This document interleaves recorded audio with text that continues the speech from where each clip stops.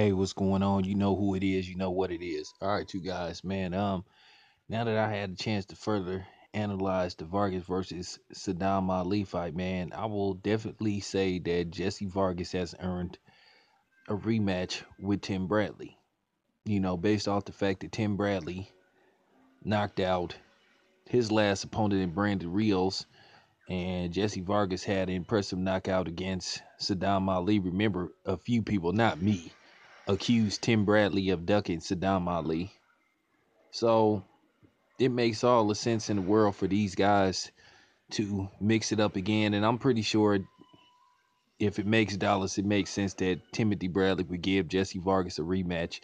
Now, he has other business to handle, you know, next month with Manny Pacquiao. So let's just say that Tim Bradley gets past Manny Pacquiao then that opens up the door for a second fight with Jesse Vargas. I don't think it'll be on pay per view, but it'll be a big money fight and it'll be an interesting fight to see how this newfound power of Jesse Vargas would do against Tim Bradley. He did catch Timothy Bradley flush. He had him hurt in the 12th round. You know, it was a mistake by the referee that ended up, you know, being a little bit controversial not as much as Max Kellerman made it out to be when you know during the post fight interview with Vargas, where he made it look like that that made all the difference in the fight when he pretty much got outboxed for most of the fight. You know, going into the 12th round, I had Tim Bradley well ahead on the scorecards. You know, so yeah, we'll like to see what happens with a rematch. Now, on the flip side, let's just say Manny Pacquiao beats Tim Bradley.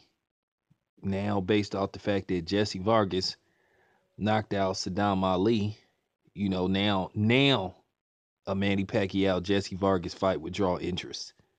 Because we all know Manny Pacquiao doesn't seem to be interested in fighting Crawford.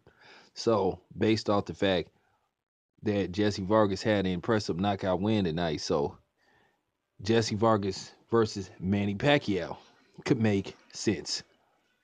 You know, Jesse Vargas has a little bit of a name. He's, you know, this fight, you know, does things for his career because he knocks Sadam Ali out. You know, that's just how boxing works. So let's see how it plays out, man. So, depending what happens next month, you could see Jesse Vargas' name in the mix for a Pacquiao fight or a Tim Bradley rematch, depending on if Manny Pacquiao decides to retire. I'm out.